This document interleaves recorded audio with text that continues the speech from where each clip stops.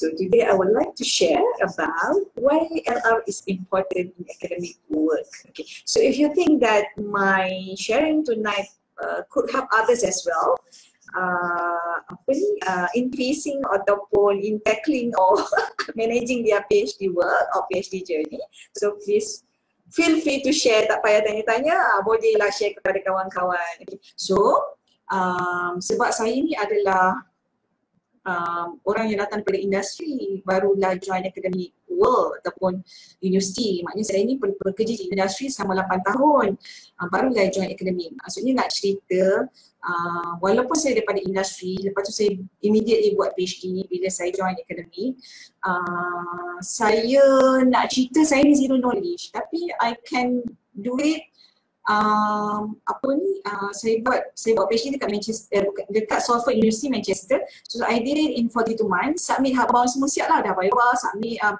I got minor correction to this this sekejap lepas tu kita submit semua hardbound semua siap dalam masa 42 bulan. So nak cerita uh, kalau saya boleh buat siapa pun boleh buat? Walaupun you tak ada uh, you don't have even you don't have any experience at all in doing academic work so it shouldn't be a problem.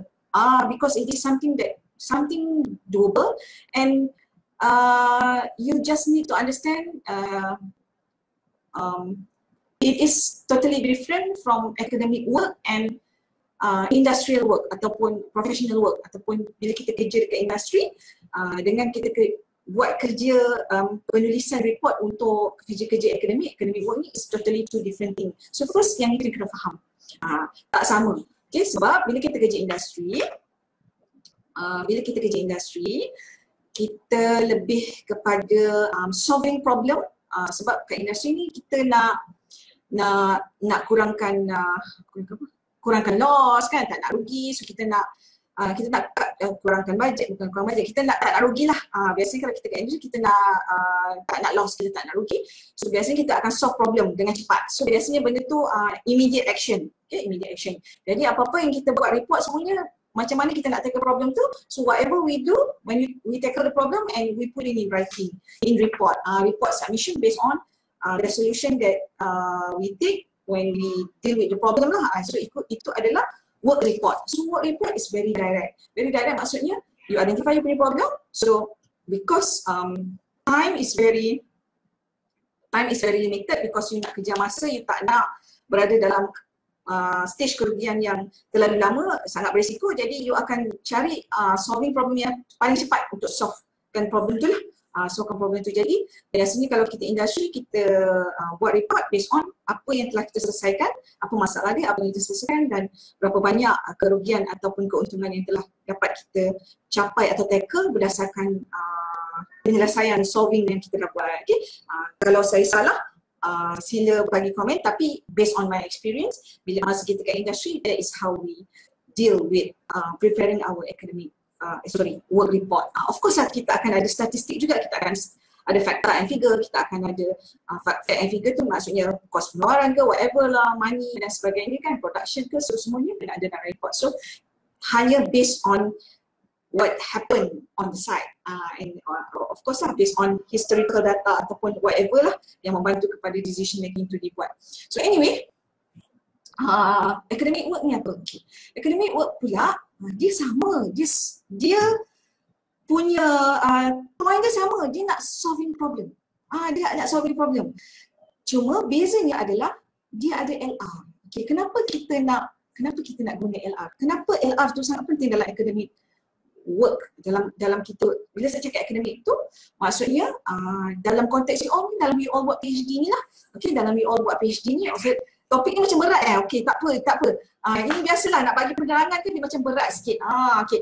So anyway um, kenapa uh, LR tu penting uh, dalam akademik ni? Sebab kalau kita, you tak faham ni you akan rasa macam berbulu berbulu macam tau macam eh aku kerja industri kan dah 20 tahun tahu aku menghadap masalah ni. Tetapi kenapa lah bila aku present masalah ni dekat panel dia tak faham lah. Dia tak faham betapa kritikalnya masalah yang sekarang. Berapa banyak kerugian je kan?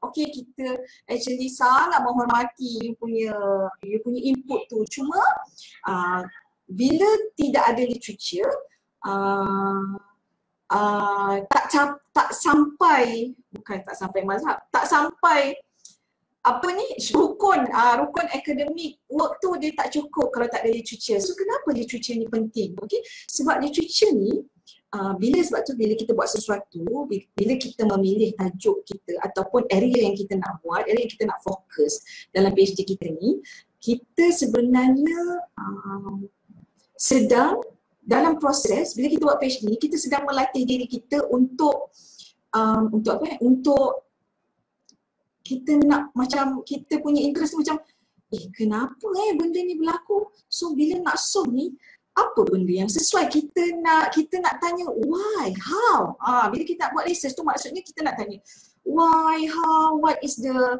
uh, related factor ke apa komponen tu? Jadi bila kita nak faham dia maksudnya bila kita nak tanya kita nak faham kita nak kita nak um, apa ni uh, kita nak learn to better understand keadaan tu. Jadi kita kena baca apa yang scholar sebelum ni dah buat. Scholar tu adalah uh, ilmuwan-ilmuwan dalam area tu. Kan bila kita nak tahu sesuatu ni macam kalau dalam Islam kan uh, kita apa-apa kita nak refer uh, apa kita punya sources adalah Al-Quran dan hadis. Dan juga kita punya imam-imam lah yang uh, yang memberikan apa ni uh, keputusan-keputusan fatwa, mengeluarkan fatwa dan sebagainya. So sama juga. Jadi uh, itu dalam agama. Jadi dalam kita akademik pun kita tak nak based on kita punya experience semata-mata eh kau tu sebab berdasarkan pengalaman you kau buat kerja tu bertahun-tahun tapi kita tak tahu adakah benda itu benda yang uh, terbaik uh, terbaik terbaik mungkin pada kita tapi sebenarnya mungkin ada yang lebih baik jadi bila kita membaca uh, apa ni? Uh, perkongsian perkongsian uh, sebab asyik tengok Facebook je tak tengok IG lah uh, sorry eh. Uh, bila kita membaca perkongsian bila kita membaca literature daripada literature yang kita baca kita membaca perkongsian daripada ilmuwan-ilmuwan terdahulu. Uh, bila saya cakap ilmuwan tu mereka ni dah go through the hustle uh, bukan dah go through the process. Dia dah run. Dia uh, sebab tu dalam research dia ada data collection. Uh, dia dah buktikan bahawa uh, apa yang dia find out itu adalah sesuatu yang uh, yang pada pada masa itulah. Sebab itu dia ada zaman-zaman dia. Pada masa itu itulah penyelesaian yang terbaik. Jadi kita nak learn daripada ilmuwan terdahulu tentang um, uh, apa ni dasar kepada ilmu tersebut dan juga macam mana apa yang dia buat. Data yang terlibat ke sampel whatsoever lah tak kira lah. You pure research ke you experiment ke you mathematician ke you pakai kuali ke you pakai kuanti ke periuk belanga je jangan kau jangan pakai lain pada tu boleh pakai. Uh, so maksudnya dia dah buktikan. Jadi bila kita kita tak tahu jadi kita nak belajar kita nak faham macam mana proses kita jadi ah. Uh, so bila mungkin kita buat kerja mungkin kita lebih kepada macam Okay, okay, kita follow je. SOP ni memang dah ada dah sejak dulu. Kita follow je.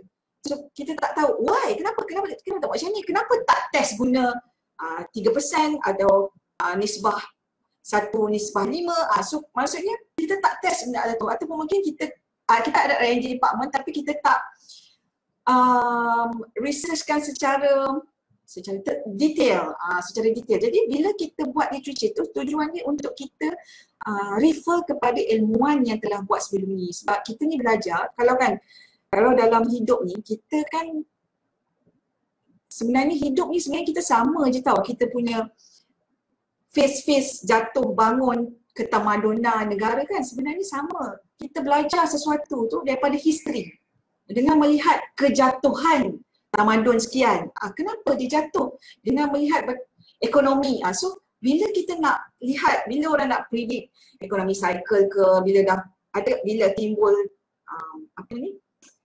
Uh, bukan momen. Bila dah keluar apa ciri-ciri tertentu tentang sesuatu, so macam mana orang boleh predict? Because based on history. Uh, jadi LR ni is about history.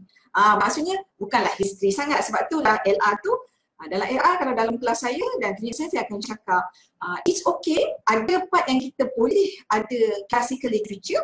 Classical literature ni memang father atau mother of that knowledge lah. Kalau kata you buat bidang tu tak sah tak sebut dia. Uh, itu nama dia classical literature tak masalah.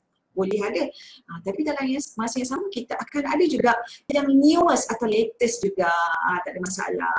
Jadi uh, kenapa kita apa beza? Yang pertama tadi apa beza uh, uh, industrial work ataupun professional work dengan academic work LR dia sebab dengan LR tu dia ada teori-teori yang kita refer dari ilmuwan terdahulu untuk lebih memahami. Kenapa kita tak lebih memahami? Sebab